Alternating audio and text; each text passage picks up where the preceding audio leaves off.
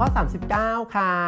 ข้อ 39 เป็นสถานการณ์ซื้อของที่ department store อ่านะฮะ เกิดที่ห้างสรรพสินค้าแห่งหนึ่ง มี customer ก็คือลูกค้า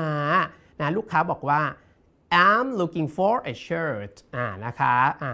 กำลังหานะฮะ look for ก็คือหา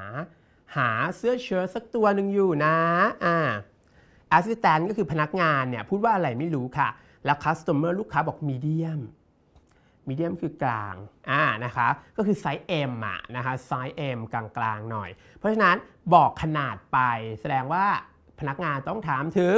size นั่นเอง ข้อที่ควรเป็นคำตอบคือข้อ 3 ค่ะ